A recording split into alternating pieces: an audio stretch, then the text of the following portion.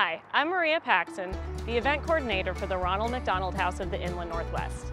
And on behalf of our staff, the board, and all the families we serve, I'd like to thank you for coming out to our 2021 SK Ball.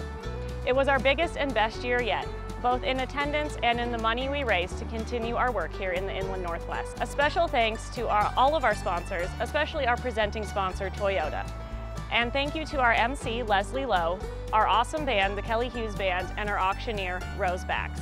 We know the lines for food and drink got a little long and it was chilly out, but we're already planning for next year and we'll send out a save the date soon. Also, if you took any great pictures that night that you'd like for us to share, please send them to me at mariap at rmhcinlandnorthwest.org.